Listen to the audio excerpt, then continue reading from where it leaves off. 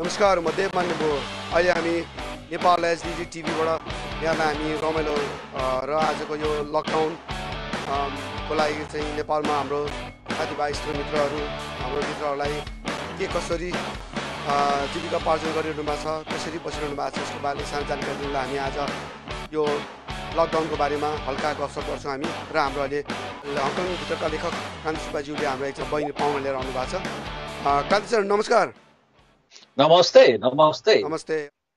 Okay ल नमस्ते बहिनी। नमस्ते दाई हजुर नमस्ते। अहिले तपाईँ सन्चै हुनुहुन्छ? एकदम। कुन ठाउँबाट तपाईँ अहिले? म अहिले दाई धरानबाट हो धरान मङ्गलबारी एघारबाट हो। ए धरान मङ्गलबारे एघार लकडाउन लकडाउन लागेको महिना दिनभन्दा बढी भइसक्यो। त्यहाँको के छ हालखबर सुनाइदिनुहोस्।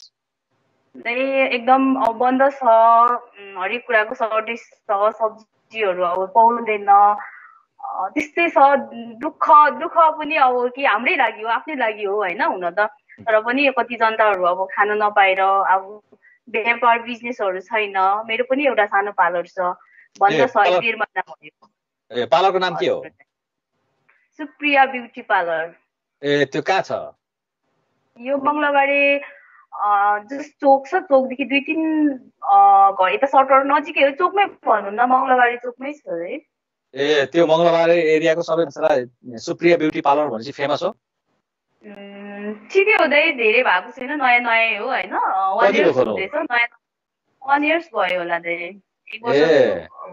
तपाईँले यो ब्युटी पार्लर सम्बन्धी कहाँ शिक्षा लिनुभएको थियो? कहाँ सिक्नु भएको थियो मैले दिल्ली न्यू दिल्ली। पढ्नुको लागि जानुभएको थियो कि न्यू दिल्लीमा? के गर्नुभयो अँ, त्यही जबको लागि गएको थिएँ। जबको लागि जाँदा चाहिँ उहाँ मैले ट्रेनिङ गरेँ अनि सिकेर आएको। ए के जबको लागि जानुभएको थियो? तब त सुरुमा त त्यही मेरो भेन्ना चाहिँ इन्डियन लौरी हो होइन? उहाँ दिदीहरूसँग न- जब भन्दा पनि अब फ्यामिलीहरूसँग बस्दाखेरि ट्विन्स बेबी थियो अनि बेबीहरू केयर गर्नु बस्दाखेरि काम पनि सिकाउनु भयो दिदीले अनि काम सिकेँ। ए भनेपछि दिल्लीमा सिकेको त काम लागेछ है नेपालमा। ल ठिक छ। अनि भनेपछि तपाईँको पार्लरमा के के चाहिँ तपाईँ सेवा दिनुहुन्छ मानिसहरूलाई? अब जति पनि अँ, जिब्रोको चाहिँ लेडिजहरूको लागि सबै नै छ भन्नु पर्ला सबै नै सकेसम्म अहिलेसम्म भएको चिजहरू। जिब्रोको उम्, जति पनि फेसियल यस्तो धेरै छ होइन? कुनै पनि एउटा ग्राहक तपाईँको ब्युटी पार्लरमा छिरेपछि यो मे अह यो त मेरोमा छैन अथवा म यो मेरो सर्भिस मेरो यो पार्लरमा यो सर्भिस छैन भनेर फर्किएको छ मान्छेहरू? एउटा छ अब कतिले नाक छिर्छ होइन नाक कान छिर्छ त्यो चाहिँ छैन। अरू चाहिँ सबै छैन त्यस्तो फर्केको मेरो अहिलेसम्म रेकर्ड छैन नयाँ हो। ठिकै छ। कतिलाई। राम्रो लाग्छ पुरानो कस्टमरहरू छ अहिले कस्टमरहरू बन्दैछ। राम्रै नाक कान छेड्ने चाहिँ सुविधा छैन? त्यो चाहिँ सुविधा छैन। त्यो चाहिँ सिक्नु छ ट्रेनिङ लिनु छ। अरू चाहिँ सबै ठिक छ दाइ। तपाईँले एउटा एउटा पिस्तोल लिएर राख्नुहोस् त्यसो। कि बन्दुक? पेस्तोल छे पेस्तोल हजुर पेस्तोलले नै छेड्छ दाइ त्यो। हजुर पेस्तोलै हुन्छ दाइ। त्यो छेड्ने चाहिँ नाक कान छेड्ने चाहिँ पेस्तोलै हुन्छ। त्यसले नै छेड्नुपर्छ दाइ। पहिला त हाम्रो पालामा त सानोमा त सिउलेको छेडिदिन्थ्यो मम्मीले त्योले छेड्यो हजुर त्यो होइन अहिले त त्यो पेस्तोलै हुन्छ सेम पेस्तोल जस्तै हुन्छ त्यसलाई पुस गर्नुपर्छ अनि छेड्छ डिस्टान्सको त्यो टार्गेट चाहिँ हेर्नुपर्छ हामीले अनि छेड्छ दाइ ए भनेपछि त अब कितनै गोली है भनेर सोध्नु पर्यो पहिला होइन? यसमा कितनै गोली है होइन। होइन यहाँ त नेपाली हो आफ्नो देश हो होइन? नेपाली नै राम्रोसँग चल्छ नेपाली नै बोलिदिन्छ। नेपालीबाटै अब कति हो के हो कसो हो? अब तु भी मर्जा भन्नु पर्दैन साबा भनेर। नै त्यस्तो भन्नु हुँदैन। कस्टमरलाई त अब त्यसो भन्यो भने त। ल ठिक छ अनि त्यसो भए तपाईँले अहिले लकडाउनमा पनि तपाईँले सेलुन चाहिँ के पार्लर चलाइरहनु भएको छ नि? मेन त यो मान्छेहरू हिँड्न पाउँदैन होइन? मान्छेहरू हिँड्न पाउँदैन। सेलुन मेरो ओपन चाहिँ हुन्छ तर कन्ट्याक्टमा कति पुरानो कस्टमरहरूले अलिअलि अब कस्टमरहरूले कन्ट्याक्ट गर्नुहुन्छ कन्ट्याक्टमा चाहिँ आउनुहुन्छ अनि उहाँहरूलाई चाहिँ गरिदिन्छु। अब फेरि त्यो पनि ज्यादा भिडभाड त हुँदैन। एक एकदेखि दुई दुईदेखि तिनसम्म दुई तिनजनासम्म आउनुहुन्छ। अनि फेरि त्यही हो। ह्यान्ड ग्लोभ्स मास्क यस्तै युज गर्ने अनि काम गर्ने। लकडाउनमा पनि तपाईँको तपाईँले आफ्नो सेवा दुई या तिनजना दिनको प्रदान गरिरहनु भएको छ।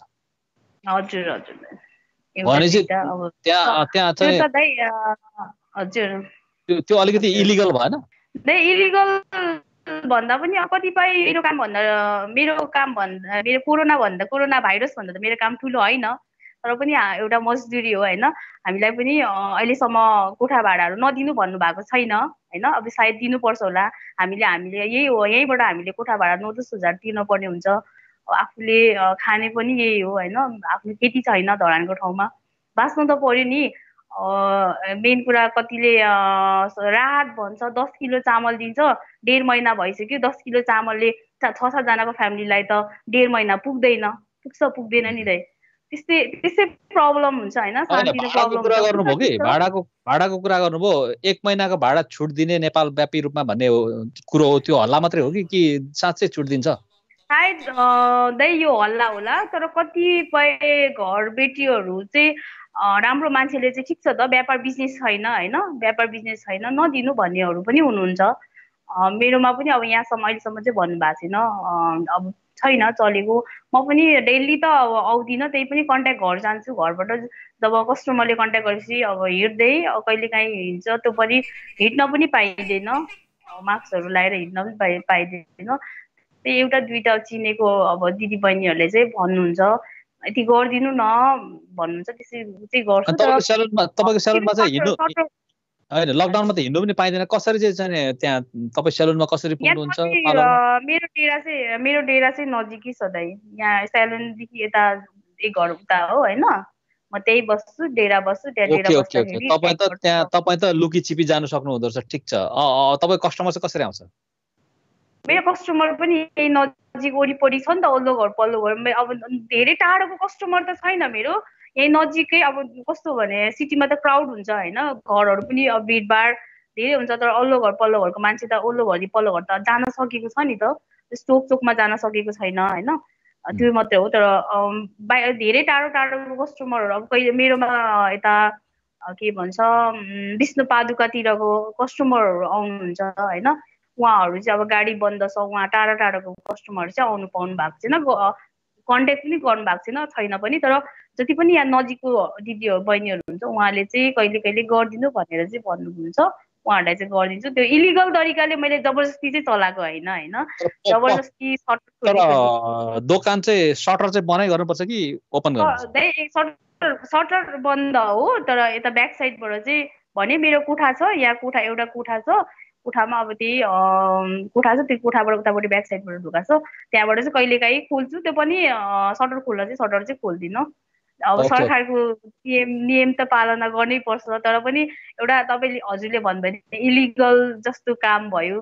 तर प्लिज सरी दाइ त्यो गर्न चाहिँ खोजेको होइन तर त्यही हो। थोरै थोरै आवश्यक परेको।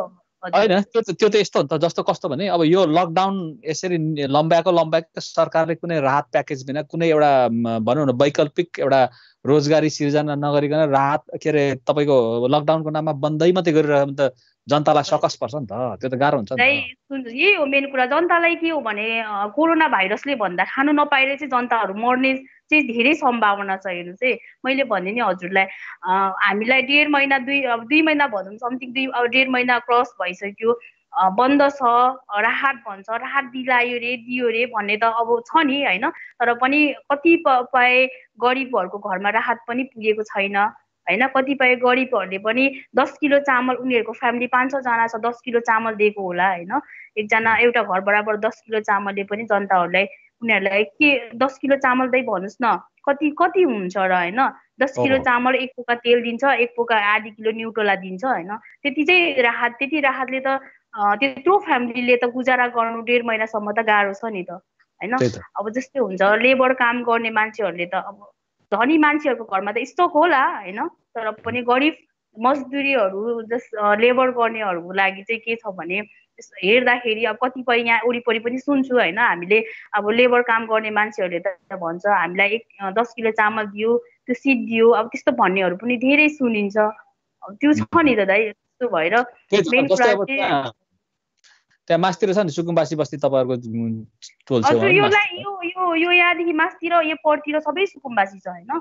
सबै सुकुम्बासी छ यता तपाईँले थाहा पाए अनुसार अब त्यहाँसम्म चाहिँ धेरै अब त्यहाँसम्म चाहिँ म पुगेको छुइनँ होइन? चोकसम्म चोक र त्यहाँसम्म चाहिँ म पुगेको छुइनँ किनकि हिँड्नै छैन हिँड्नै पाइँदैन। अब साग साग सब्जीहरू पनि एकदम सर्टेज र महँगी पनि छ होइन? अब अलिअलि आउँछ थोरै थोरै अब त्यो पनि अलिकति ड्यामेज टाइपको आउँछ त्यो कुहे सडेकोहरू आउँछ अलिअलि अब त्यो पनि सर्टेज छ त्यो पनि फुल्दैन। अनि त्यो त्यो एरियासम्म चाहिँ म जान सकेको पनि छैन म गएको पनि छैन। तर अब होला कति सबै सबैसँग आफ्नो आफ्नो प्रब्लम होला कति त्यही हुँदै म जान चाहिँ त्यो एरियासम्म चाहिँ गएको छैन जस्तै त्यहाँ जस्तै अब त्यहाँको स्थानीय वडा अध्यक्षहरूसँग मिलेर या व्यक्तिगत रूपमा राहतहरू वितरण गरेको छ कि छैन तपाईँको एरियामा? कसैले? यहाँ मैले चोकमा हिजो मात्रै सुनेको थिएँ। यता मेरै सटरदेखि उतापट्टि दिदीले एउटा सानो खाजा घर खोल्नु भएको छ। दिदीले भन्दाखेरि चाहिँ ठिकै छ अहिले राम्रै छ दस किलो चामल दियो। दस किलो चामल खान लायकै छ। कसैले पहिला अगाडि बाँडेको चाहिँ सुरु सुरुमा बन्द हुँदा बाँडेको चाहिँ खाने खालको थिएन। अहिले दस किलो चामल ल्याएँ भनेर दिदीले हिजो भन्दै हुनुहुन्थ्यो। त्यही मात्रै सुने। अरू त मैले खासै सुनेको छैन।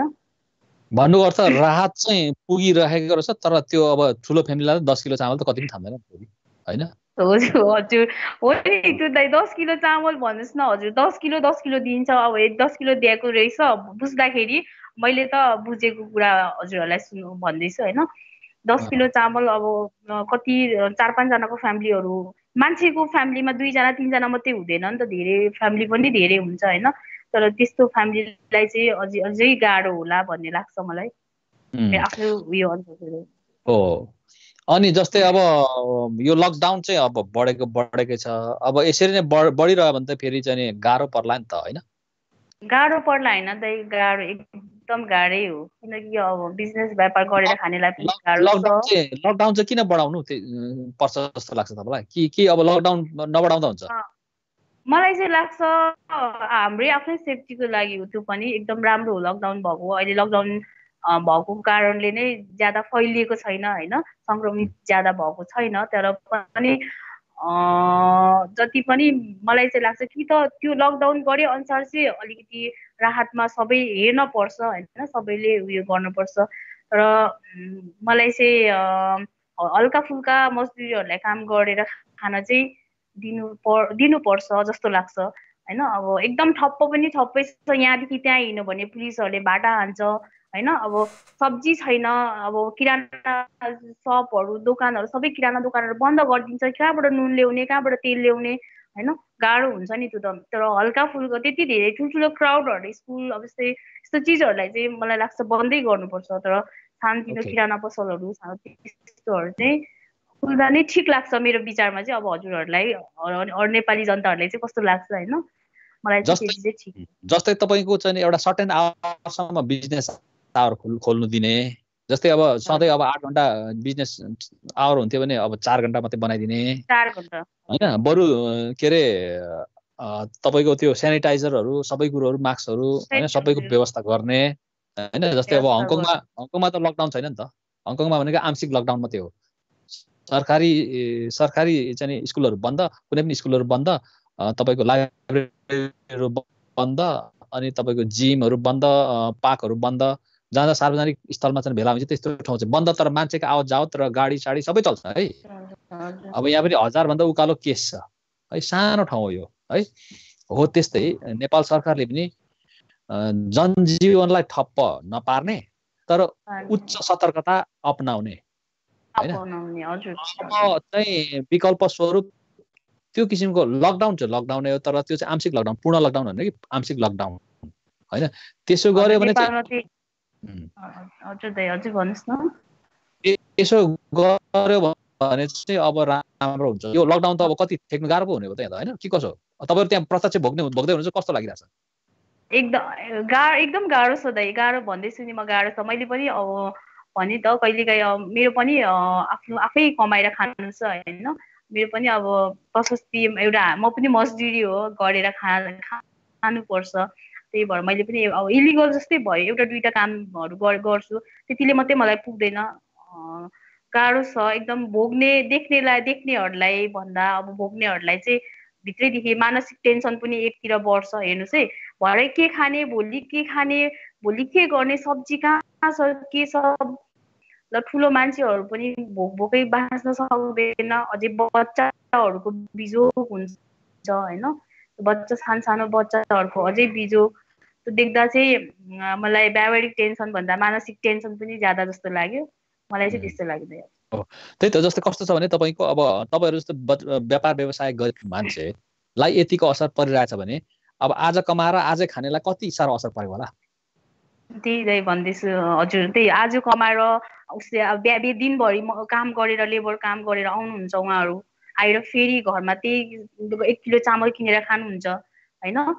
एक एकचोटिलाई तेल लिएर खानुहुन्छ उहाँहरूलाई त झनै गाह्रो भएको छ। एकदम उहाँहरूको लागि अझै झन् धेरै गाह्रो। त्यही भएर म भन्छु उहाँहरूले पाउनु भएला आफ्नो आर्थिक सानो भएर दस किलो चामल पाउनु भएला सरकारले दिलायो दिनु सरकारहरूले तर पनि उहाँहरूलाई दस किलो चामलले त अहिलेसम्म हुँदैन।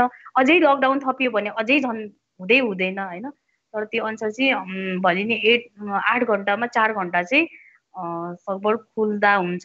ठुल्ठुलो क्राउडहरू चाहिँ भिडहरू स्कुल विद्यालय यस्तो सार्वजनिक स्थलहरू चाहिँ पुरो बन्द गरिदिने होइन? सानो सानो अब अहिले त यहाँ त कस्तो छ भने किराना दोकान पनि यति खोल्छ अब हतार हतार नुन लिन गयो पुलिसले आएर ड्याम के ड्याम गर्छ हो? बन्द गर कि बन्द गर गरेन भने अब सिधै कुद्न आउँछ। अनि सब्जी त खानु पर्यो तेल खानु पर्यो। मान्छे त कोरोना भाइरसले भन्दा ज्यादा त खानै नपाएर मान्छेहरू यहाँ मानसिक टेन्सन भइरहेको छ खान नपाएर मान्छेहरू बिचल्ली भएको छ। कति मान्छेहरू बाटोमा हिँडिन्छ मेरो घरमा खाने छैन भन्दै रुन्छ। न्युजहरू हे सुन्यो अझै हामीलाई टेन्सन लाग्छ। त्यही भएको जस्तो लाग्छ मलाई चाहिँ मेरो विचारमा चाहिँ यहाँ हामीले भोगे अनुसार चाहिँ दस घन्टामा त्यही पाँच घन्टा आठ घन्टामा चार घन्टा चाहिँ सानतिनो यस्तो खाद्यान्न पदार्थहरू यस्तो खा खाने चिजहरू चाहिँ खोलिदिँदा हुन्छ। अनि सानो सानो मजदुरी गरेर खानेहरूलाई हल्का कामहरू गर्न दिनुपर्छ जस्तो लाग्छ मान्छेहरू अहिले लकडाउनको कारणले गर्दाखेरि खान नपाएर भित्रभित्रै असन्तुष्ट मानसिक तनाव पनि बढिरहेको र त्यो सँगसँगै मानिसहरूले चाहिँ अब जस्तै अब प्रशासन विरुद्ध नै भोलि चाहिँ जाने नारा जुलुस गर्ने स्थिति छ कि छैन? त्यो एक किन हुँदैन त? एकदम हुन्छ। हेर्नुहोस् है अब हामी मलाई नै कस्तो लाग्छ भने सब्जी किन्नु जाँदाखेरि पुलिसको डर राख्नुपर्छ। अरे सब्जी हो नुन किन्न जाँदाखेरि किराना पसलमा ड्याम कि ड्याम भाडा हार्नु खोज्छ। त्यो पनि मानसिक टेन्सन हो। अब त्यो नुन न नुन तेल नखाइ कसरी होइन? मेन अब छोडिदिउँ न। ठुलो ठुलो सपिङ सब्जी त्यो त छैन। र मान्छेलाई चाहिँ मेन कुरा चाहिँ घाँस बाँस कपास अरे के दाइ? होइन घाँस छैन होइन घाँस छैन भने बाँसले मात्रै त भएन नि। हुँदैन नि। एकदम गाह्रो छ त्यही भएर चाहिँ आन्दोलन चाहिँ मलाई लाग्छ हुन्छ जस्तो। यस्तै भयो र यस्तै गऱ्यो भने चाहिँ हुन्छ। तर एउटा कुरा भन्छु होइन हुनु त म कुनै नेता पनि होइन कुनै म उयो होइन। एउटा सिम्पल साधारण एउटा सानो पालरको ब्युटिसियन मात्र हो। तर ठुल्ठुलो कस्तो लाग्छ भने ठुल्ठुलो नेताहरूको लागि त इनफ छ नि होइन? उहाँहरूको त स्टक होला। उनीहरूको त कन्ट्याक्ट होला पावर होला सोर्सफुल होला होइन? उहाँहरूले त खानुहुन्छ जिउनुहुन्छ बाँच्नुहुन्छ। तर मेन कुरा मजदुरी गरेर खाने जनता होइन? सानतिनो अब एक छाक ल्याएर खाने अहिले कमाइ अहिले भराइ बेलुका खाने त्यस्तोहरू जनताहरूलाई त गाह्रो हो नि त यो चाहिँ एकदम गाह्रो छ नि। मलाई त्यस्तो लाग्छ। त्यही त्यस्तो भएर चाहिँ हजुर। ठिक छ। अब एउटा चाहिँ एउटा नयाँ कुरोको सुरुवात हामीले गर्नुपर्छ अब तपाईँ हामीले। होइन तपाईँहरू अब युवाहरू हुनुहुन्छ तपाईँहरू अब युवा वर्गका व्यापारीहरू हुनुहुन्छ। युवा लगायत अब अब जो चाहिँ अब मजदुर वर्गका खाना नपाएका चाहिँ न्यून वर्गकाहरू छन् होइन। तपाईँहरूले चाहिँ के गर्नुपर्छ भने अब लकडाउन मात्रै गरेर हुँदैन। राहत सहितको विकल्प सहितको जनजीवन ठप्प नहुने हिसाबको पूर्ण रूपमा नभए पनि आंशिक रूपमा त्यो ओपन गरिनुपर्छ। होइन भने त्यसको चाहिँ विरुद्धमा चाहिँ आवाज उठाउनु पर्यो। होइन लकडाउन मात्रै गरेर त कामै छैन नि त। जस्तै तपाईँको यस्तो छ। सोसियल डिस्टेन्सिङलाई बरु राम्रो निगरानी गर्ने सरसफाइ निगरानी गर्ने होइन? तर होइन लकडाउनलाई चाहिँ खुकुलो बनाउनै पर्छ किनभने यसरी हुँदैन। जस्तै अब एउटा पिरियड बित्यो अब के छ भने सङ्क्रमणितहरूलाई एक ठाउँमा क्वारेन्टाइनमा राख्ने। अरूलाई किन छ नि अब जस्तै जसलाई चाहिँ सङ्क्रमण भएको छ उसलाई सङ्क्रमण उसलाई क्वारेन्टाइनमा राख्ने जसलाई अब हामी जसलाई सङ्क्रमित छैन उसलाई चाहिँ एकदम के भनौँ बन्धनमा उहाँलाई चाहिँ उसलाई चाहिँ टेन्सनलाई चाहिँ सजाय जस्तै भइरहेको छ क्या यहाँ चाहिँ।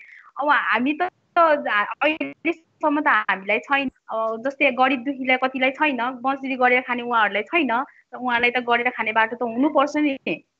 उहाँहरूलाई त एउटा सजाय जस्तै भइरहेको छ पनिसमेन्ट जस्तै भएको छ जस्तो लाग्छ।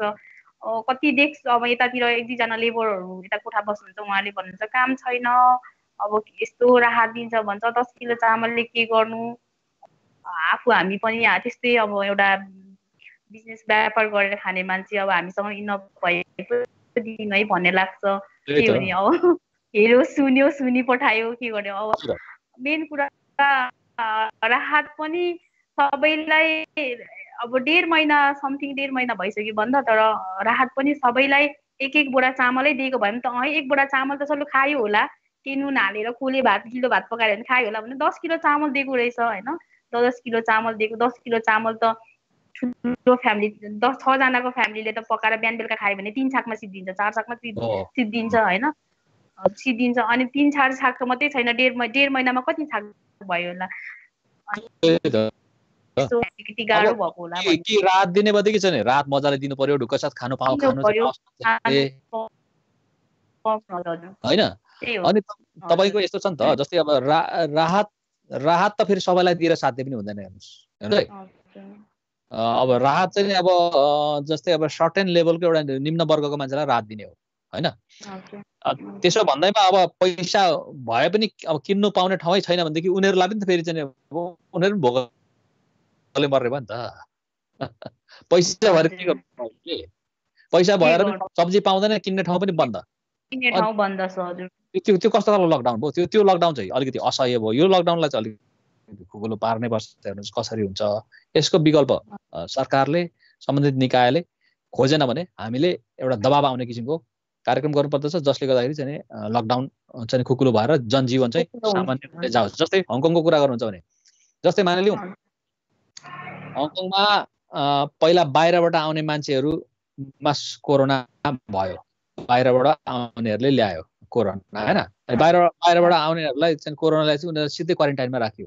सिद्धियो केस फिनिस होइन अनि तपाईँको यहीँ लोकल स्प्रेड भएको चाहिँ जस्तै बारमा भयो होइन बारमा भयो है?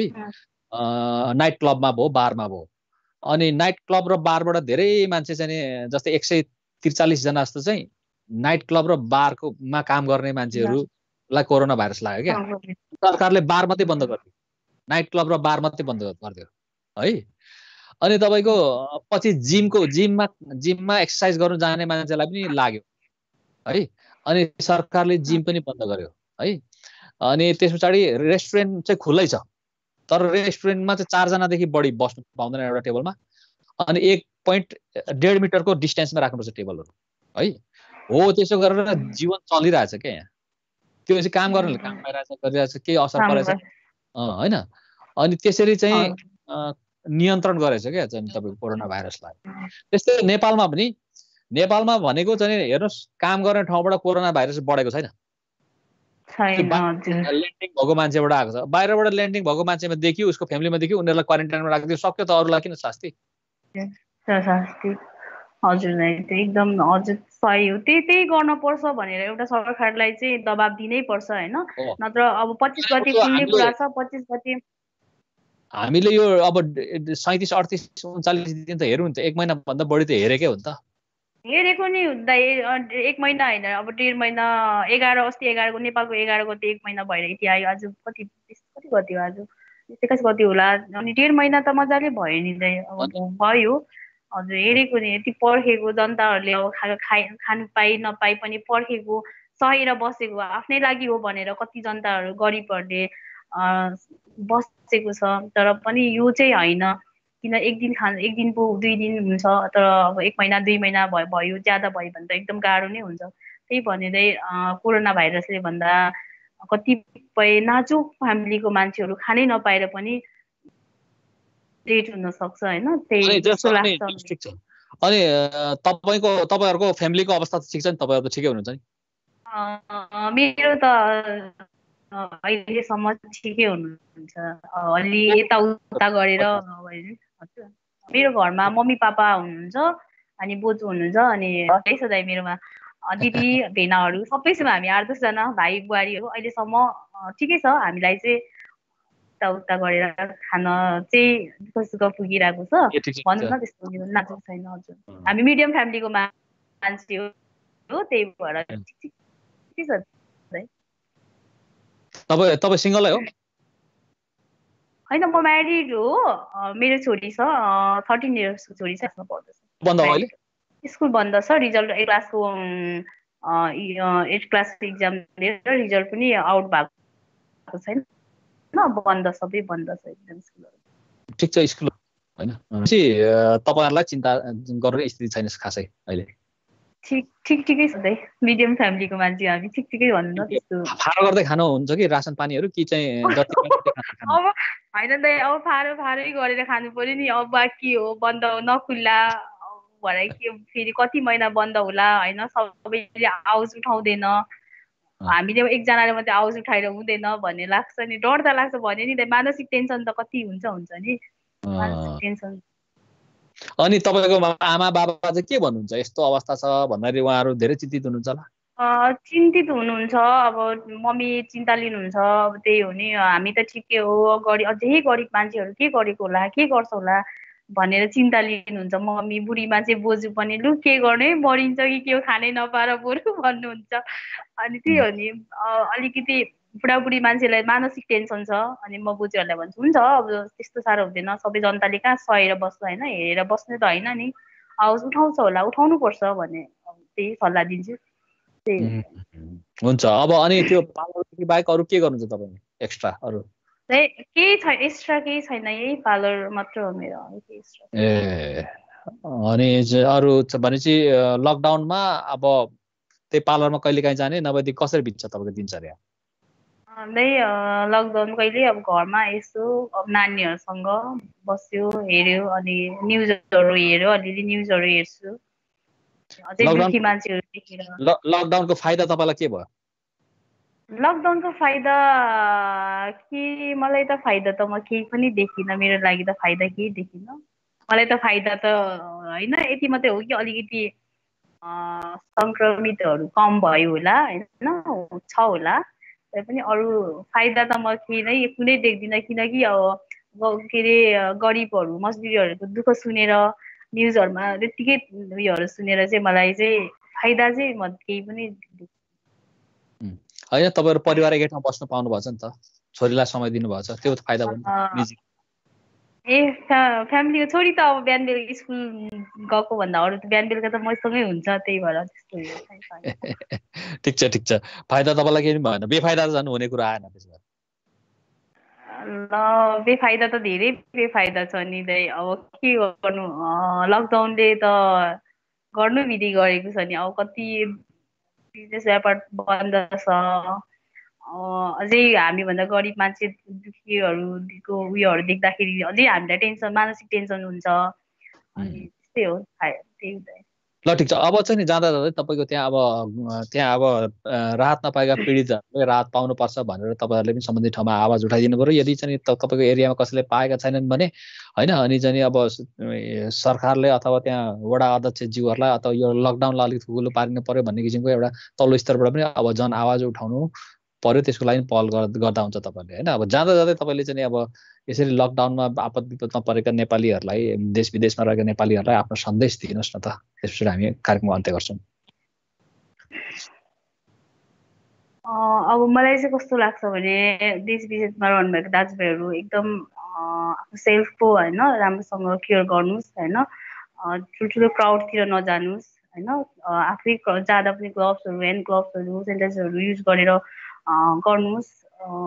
नेपालमा रहनुभएको सबै जति पनि पीडित अब पीडितै भन्नु पर्ला होइन कति त मानसिक टेन्सनले पनि बसिराख्नु भएको होला सबैलाई एकदम गाह्रो भएको होला। अझै धेरै सानो मतलब आर्थिक सानो भएको फ्यामिलीहरूलाई अलि अझै गाह्रो भएको होला।